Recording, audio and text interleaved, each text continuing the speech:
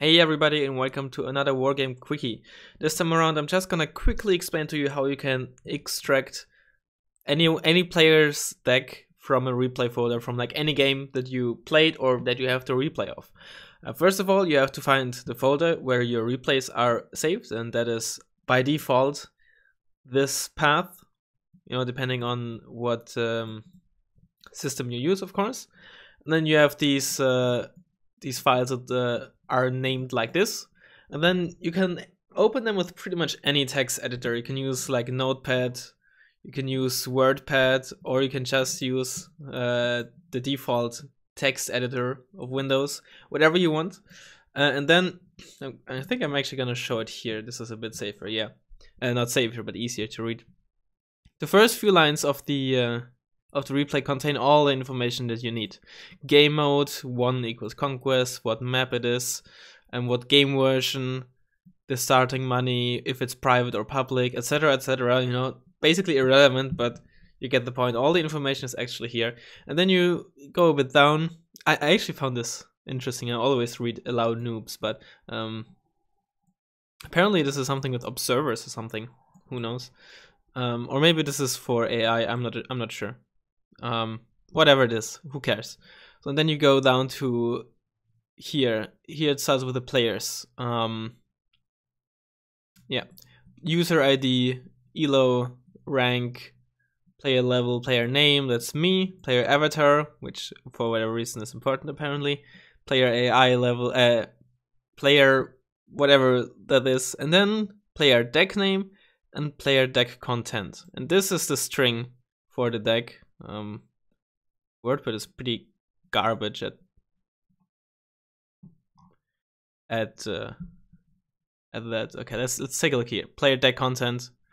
This is the uh, this is the deck code, and then you just copy that and import that, and a bit further down here, Nick the man, and here's his deck content. So what you can also do is just can go for deck content, and you can see here this is my deck, and then if you click next, and this is Nick's deck. And of course, this works with two players, four players, etc., etc. And um, that is really all there is to it. Another small little thing that is, that is obviously not important, if you are a member of the Bootcamp Discord, and you have a replay that is 1 versus 1, and this is exclusive to 1 versus 1, because otherwise it would be way too long, you can upload a replay, and the bot should, yep, this is a replay and the bot that uh, Senor Dickweed uh, did for the server um, lists you all the important stuff and also the deck codes. So, you know, if you want your replay to be reviewed or something, you can just upload the replay or just go to logistics, upload it if you are too lazy to extract the deck codes yourselves, and then it shows up here. And you hopefully all know how to extract deck codes or how to import deck codes, just in case you don't. It's it's very very simple. Just click import, paste the deck here, one, two, three. You know, it should be pretty straightforward. And then you have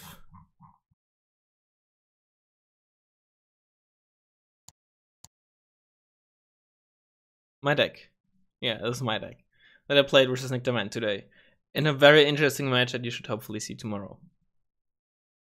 Um, and that's already it pretty straightforward, I think, but some people just simply don't quite know yet or fully understand how it is, but it is very easy. And um, yeah, I hope you learned something. If you didn't, I hope you're gonna watch the video that I am gonna upload tomorrow because it's gonna be a very fun one. In the case, I'll hopefully see you next time.